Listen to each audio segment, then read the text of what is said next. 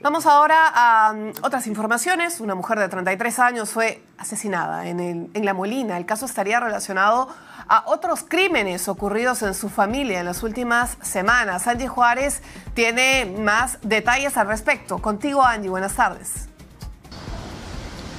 Buenas tardes, estamos en la cuadra 7 de la avenida Los Constructores en La Molina, donde una mujer ha fallecido acribillada aquí, eh, justamente cuando ella salía de su domicilio, según nos han informado algunos vecinos que han sido testigos de lo ocurrido. Ella salía acompañada de su esposo, habían pedido un taxi por aplicativo y se encontraban esperando justamente abordar el vehículo cuando una moto apareció, se acercó a ellos, descendió uno de ellos, eh, de los que estaban a bordo de la moto lineal y abrió fuego contra ella. Eh, habrían sido dos disparos los que ha recibido también, eh, según nos han contado algunos testigos. Y en este momento la policía, después de haber realizado las diligencias aquí en el lugar, ya está procediendo a hacer el levantamiento del cadáver. Hasta que han llegado miembros de la policía, de la comisaría de La Molina, así como peritos de criminalística, de la policía y también del Ministerio Público.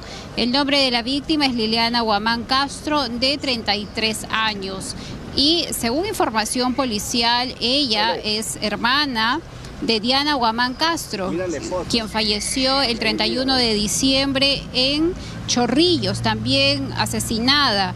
Y este caso también está relacionado con el fallecimiento del hijo de la víctima de este momento, su hijo Marco Antonio Jaime Guamán de 18 años y su cuñado Rodolfo Alex Pintado Gómez de 35 años fueron acribillados el pasado 5 de noviembre del 2023 en una fiesta de promoción, esto ocurrido en el distrito de Santa Anita. A quien vemos ingresar en este momento a la vivienda de fachada naranja es al esposo de la víctima, Liliana Guamán Castro. Ellos vivirían justamente en esta casa, en el segundo piso, y en este momento la policía lo que viene realizando es todavía las diligencias para poder esclarecer los hechos.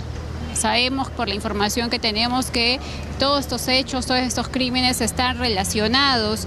Ya eh, hablábamos del fallecimiento del hijo de Liliana, la víctima de este momento, su cuñado Rodolfo Pintado y eh, la hermana también de ella, Diana Guamán Castro. El día que ocurrió la fiesta de promoción y donde se dio una balacera el pasado 5 de noviembre del 2023, Liliana Guamán había también sido herida con un disparo en el tórax y eh, luego de ello pues eh, se ha recuperado y hoy lamentablemente tenemos que informar que ha fallecido.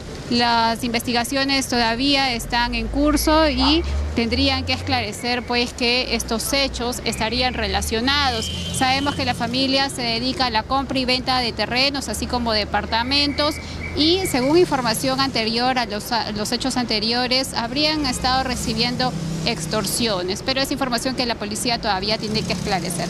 Es la información que tenemos, compañeros. Eh, En este momento ya la policía ha realizado el levantamiento del cadáver y los vecinos están consternados por lo ocurrido hoy, que ha sucedido durante horas de la mañana a vista y paciencia, pues lamentablemente de todos los vecinos, de todos los transeúntes que estaban en el lugar en ese momento. Volvemos a estudios.